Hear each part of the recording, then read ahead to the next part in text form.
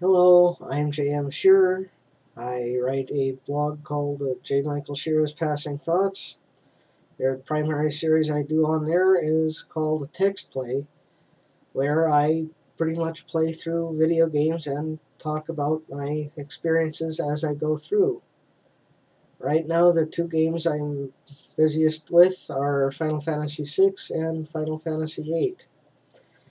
I also do a series on That Guy with the Glasses of written blogs called uh, Looking Back, where I write about the cartoon shows and other television programs I grew up with as a child. Now, I'd kind of like to, you know, see where I can take these series because I enjoy writing them and I'd kind of like to see how much people enjoy reading them.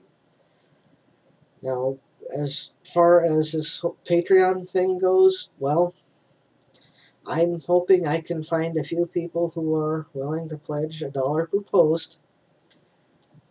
Now, you don't necessarily, I'm not sure if that's the minimum post or if you can go less. Uh, it would be nice if people could go more, but all I'm asking is a dollar per post because, hey, what's a dollar these days? It's like four fifths of a bottle of pop or Hell, I think most value menu items at uh, most a lot of burger joints cost more than that these days.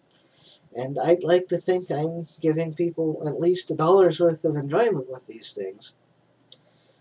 Now, the good thing here is that you can set a monthly budget so you don't necessarily blow your entire wad on supporting me and my silly uh, works here.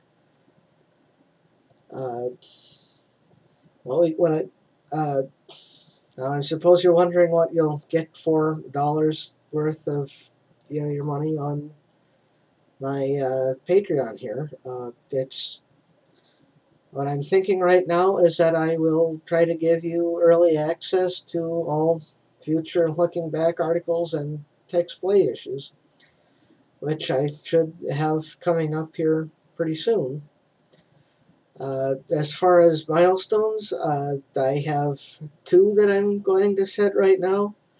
Uh, as soon as I get $2 per post, I'm going to compile all the uh, various takes that I've saved so far for making this video.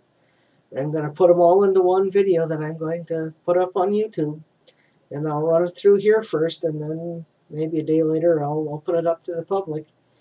And then once I get to $5 per post, I will, uh, you know, allow my Patreon supporters to pick the next text play I do from the uh, selection of games I've got available.